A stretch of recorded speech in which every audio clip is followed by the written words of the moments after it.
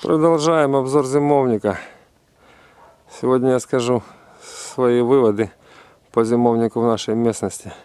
Данное помещение я строил для откачки, для, для откачки меда. Оно построено из шлакоблока, в пол шлакоблока. Крыша утеплена, и мы осенью занесли туда пчел. Зимуем уже третий месяц. Давайте будем смотреть дальше.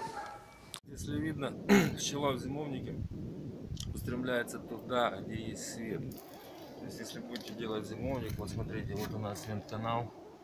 Видите, вот в вент-канале сколько пчелки. То есть, зимовник должен быть абсолютно темный. И здесь так само смотрим, вот там у нас ворота, да, через которые мы заносили. Основная масса пчелы летит на свет. То есть, есть малейший свет, малейший лучик, и пчела идет туда. Вот если вот здесь вот глянем, например, где света у нас а если видно, здесь света у нас нет, пчел очень мало. То есть, когда делаете зимовник, надо закрывать так, чтобы свет не поступал, тогда пчелы будет выходить меньше. Ну и стараться понижать температуру, когда на улице очень тепло. Потому что как ни крути, но когда температура поднимается выше 10 градусов, пчела потихонечку выходит. Дальше продолжим обзор зимовника. По, перу, по периметру зимовника в нижней части у нас сделаны вот такие вот вент-каналы. Поставлена сеточка, чтобы не пролазили мыши. Значит, недостаток таких вент-каналов. Я считаю, что они должны быть регулируемые. Для того, чтобы мы могли регулировать приток воздуха. И они должны быть прикрыты, чтобы не было попадения э, прямых солнечных лучей. Иначе в эту решетку будут вылетать пчелы изнутри зимовника. Поехали дальше. Значит, двери у нас утеплены пенополистиролом. Э, крыша так же само у нас подшита и утеплена стекловатой. Сам шлакоблок я уже говорил, э, сам зимовник я уже говорил, построен в пол шлакоблока. Значит, если кто-то будет делать себе специально для зимовника, я бы советовал утеплять пенопластом чтобы был принцип термоса.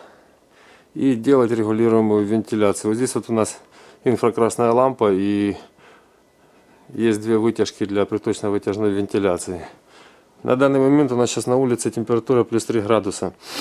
Давайте посмотрим, какая у нас температурка в середине зимовника.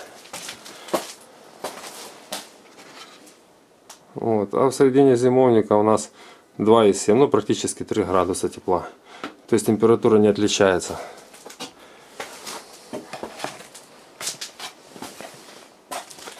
То есть я для себя сделал такие выводы, что в нашей местности зимовник не нужен. Я с ним лично только увидел только одни проблемы.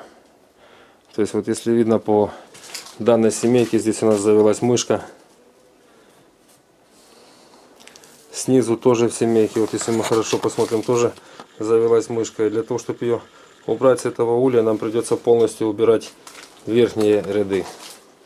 Если бы это было на улице, мы бы просто сняли дно и выгнали мышу. Вот. Совет для тех еще такой, кто будет строить. Я вижу смысл зимовника, если это более северный регион, полуподземный, полуподземный амшаник.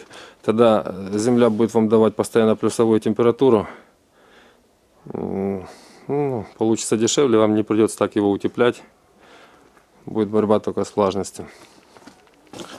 Ну вот такое вот видео для себя я сделал вывод.